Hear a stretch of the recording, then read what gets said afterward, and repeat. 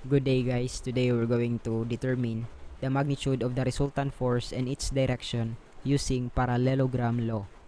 This problem is from the book Engineering Mechanics, specifically Statics, by Russell Hebler on its 14th edition. So let's read the problem first. If theta is equals to 60 degrees and F or force is equals to 450 Newton, determine the magnitude of the resultant force and its direction measured counterclockwise from the positive x-axis. So guys, in solving the resultant force, we need to make a parallelogram, guys, based on our forces. But before that, let's substitute the value from the given. It states here that our theta, which is right here, is equals to 60 degrees. And our force is equals to 450 Newton. So let's make this as our force 1. And at the bottom right here, let's make this as our force number 2. Now guys, let's make the parallelogram. So from the tip of our force 2 guys, let's make a line parallel to our force 1. When we say guys parallel, so it must have the same direction as what the direction of our for force 1 since this is parallel to our force 1 guys this is also 450 newton. Now let's draw another line that is parallel to our force number 2 from the tip of our force 1 let's draw a line parallel to our force 2 here guys since this this line is parallel to our force 2 then that also is 700 newton now that we form a parallelogram guys, let's determine its interior angles. And the sum of all interior angles of a parallelogram is 360 degrees. And the angle from here and here is equal guys because they are opposite. Also the angle from here to here is also equal. So let's determine the angles. Since this is this theta guys is 60 degrees, then angle here to here guys is 30 degrees. Since 90 minus 60 is 30 and the angle guys from here to here guys that is 90 degrees. So to sum up all the angles from here guys let's add this 15 degrees. So 15 plus 90 plus 30 that is 135 degrees. So the sum of our angles right here I mean 135 degrees. Since the angle right here guys is opposite to that side, this must also be 135 degrees.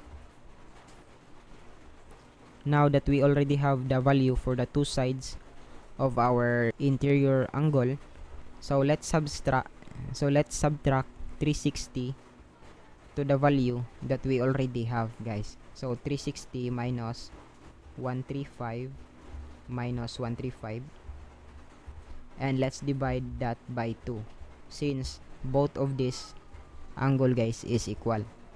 So we can have let's say this is angle A guys. So our angle A is equals to 45 degrees. So we already we now have the value for the side this this interior angle which is 45 degrees and this also must be 45 degrees guys. And guys our resultant force guys is from the tip of our forces guys. Let's make a line directed to the tip of the parallel lines which we made guys. So here. That is our the line of our resultant force guys. This red line. As you notice the resultant line divided our parallelogram into two congruent triangles. So we can use that to solve for the resultant force. So let's use this side guys of a triangle but we can also use this side of triangle this at the bottom side because that too is congruent or has the same dimensions so it's up to you guys let's rewrite this triangle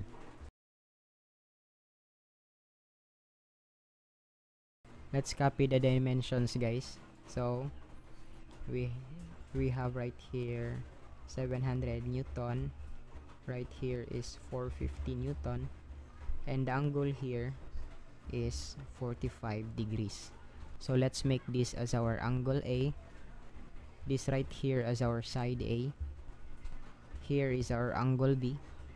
And right here 450 newton is our side B right here is our angle C and here 700 is our side C.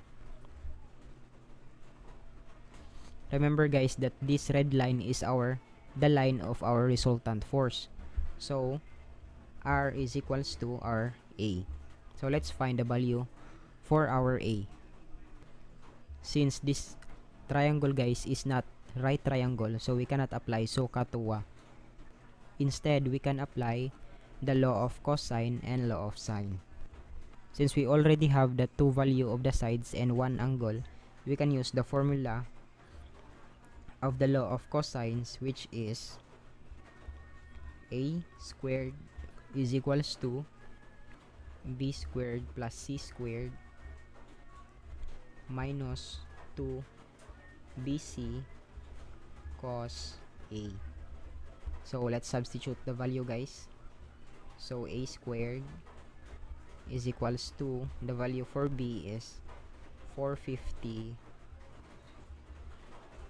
squared plus the value of c is 700 squared minus 2 450 700 cos 45 degrees. So let's square root both side thus we can get the value for a is equals to 497.01 since our r is equals to a then our the magnitude of our resultant force is 497.01 so we already have the magnitude for our resultant force now let's get its direction it states here that the direction must be measured counterclockwise from the positive x-axis. What the problem means is that from the positive x-axis, we rotate counterclockwise towards the resultant force. So here, from here to to the line of our resultant force. Since we already have an angle of 60 degrees, we need to find the, angle from here guys. So that we can add 60 and our angle right here. Then we can get the direction measured counterclockwise from our positive x-axis. So we need to get here guys our our angle C. So we need to get the value for our angle C guys. And also guys in getting the angle C guys we can also use the law of sine since we already have many values but since our angle C is an obtuse angle guys, sometimes the law of sine is not accurate. So it's better to use the law of cosine guys.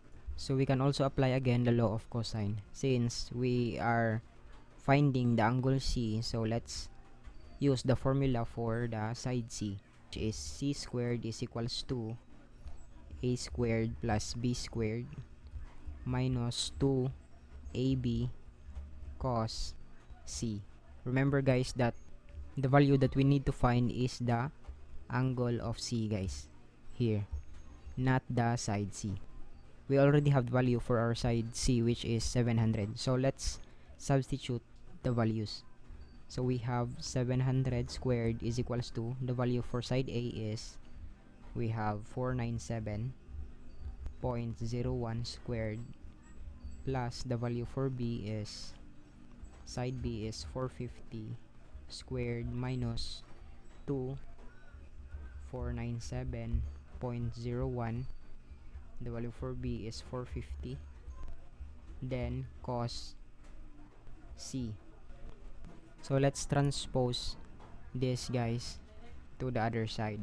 So that will make 700 squared minus 497.1 squared minus 450 squared is equals to negative 2 497.01 and 450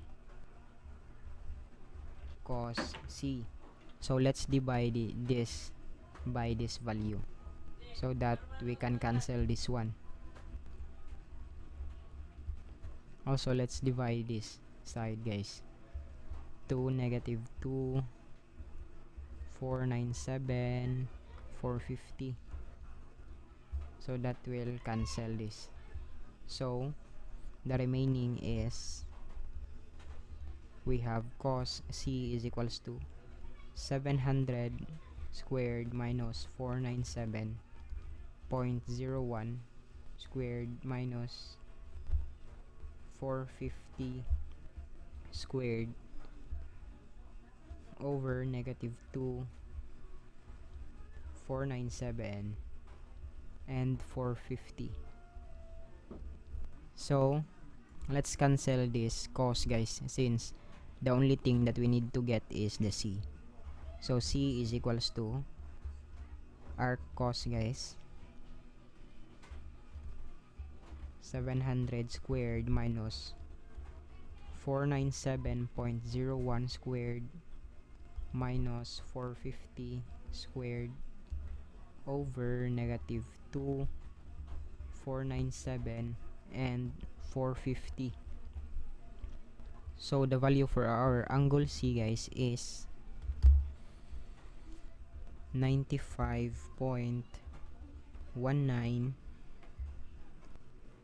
95.1924 degrees. But guys let us remember that angle C is the value only guys from this angle. This guys not the direction counterclockwise from positive x-axis. So if we need to find the measured counterclockwise from positive x-axis we need to add the 60 degrees. So the direction for our resultant guys is equals to 95.1924 plus 60 and that is 155.19 degrees angle with respect to x-axis counterclockwise. That is the direction of our resultant force